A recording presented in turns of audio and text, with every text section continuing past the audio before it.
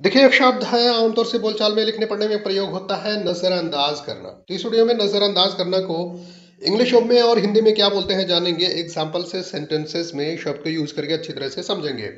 तो चलिए वीडियो को स्टार्ट करते हैं। समझिए शब्द को कि हिंदी शब्द कोश में नज़रअंदाज करना वर्ब की तरह प्रयोग होता है। वर्ब का मतलब होता है क्रिया।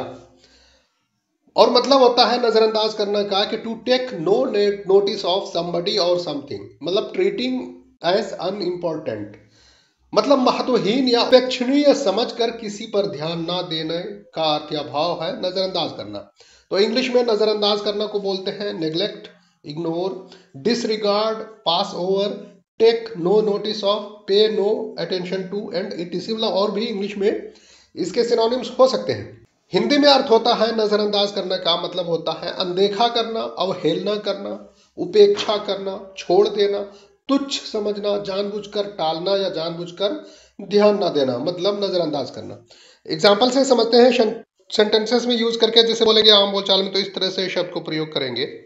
लोगों को पैर दर्द को नजरअंदाज नहीं करना चाहिए। मतलब इंग्लिश में people should not ignore the foot pain foot pain मतलब पैर दर्द। दूसरा एग्ज़ाम्पल है कि बेहतर होगा, आप ऐसी बातों और लोगों को नजरअंदाज करना सीखें। मतलब इंग्लिश में you better learn to ignore such things and people ठीक है तो उम्मीद आपने नजरअंदाज करना शब्द को इंग्लिश और हिंदी में एग्ज़ाम्पल के साथ में अच्छी तरह से समझ लिया है। Thanks for watching Educare desk